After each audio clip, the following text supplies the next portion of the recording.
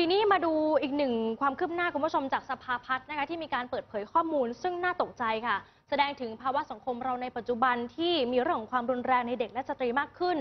ส่วนใหญ่เกิดจากคนใกล้ชิดด้วยนะคะ ไม่ว่าจะเป็นแฟนเพื่อนหรือว่าคนในครอบครัว แล้วตัวเลขในช่วง 5 ปีที่ผ่านมาเนี่ยค่ะเกิดเหตุการณ์น่าสะเทือนใจเกือบ 7,000 เหตุการณ์ ซึ่งส่วนใหญ่คนที่ถูกกระทำก็ไม่กล้าจะไปแจ้งความเอาผิดนะคะ เพราะว่ากลัวครอบครัวจะมีปัญหาค่ะ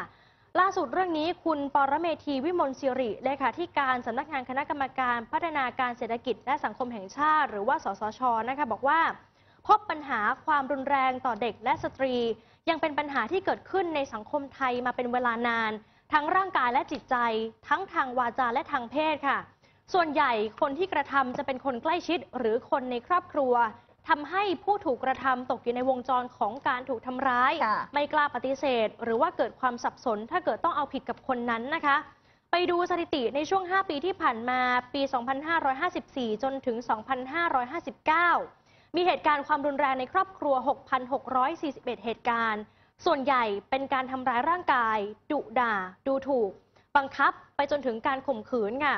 ส่วนข้อมูลล่าสุดของปีที่ผ่านมาปี 2559 พบค่ะว่า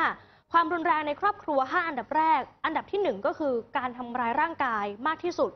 รองลงมาคือดุด่า ดูถูก ขู่บังคับ ประจานละเลยทอดทิ้ง แล้วก็ข่มขืนค่ะ คุณผู้ชมถ้าไปดูจำนวนผู้ถูกกระทำนะคะ ปรากฏว่าในปี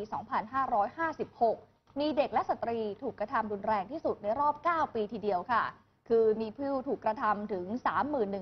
31,866 ราย หรือถ้าคิดเป็นรายวันนี่ประมาณ 87 รายต่อวันทีเดียว โดยเฉพาะในเด็กนะคะ ถูกกระทำรุนแรงทางเพศมากถึง 6,740 ราย ส่วนปี 2558 ค่ะ มีผู้ถูกกระทำ